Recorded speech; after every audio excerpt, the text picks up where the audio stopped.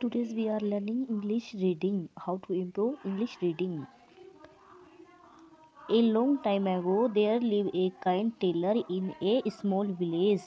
That village there lived a giant elephant.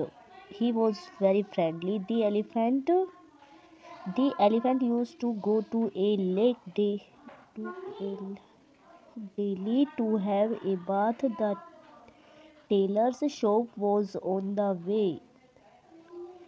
The tailor used to offer a banana to the elephant from his land. Jump, jump.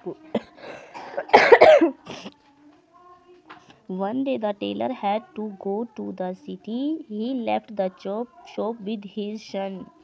The tailor's son was a naughty boy. He thought of a planning trick with the elephant.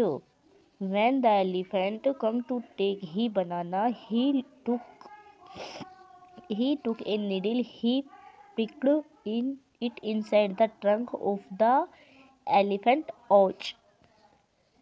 The elephant was very angry. He went to the lake Thump.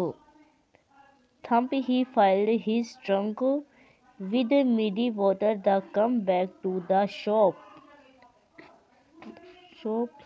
He sprayed the water on the tailor's son. Splash.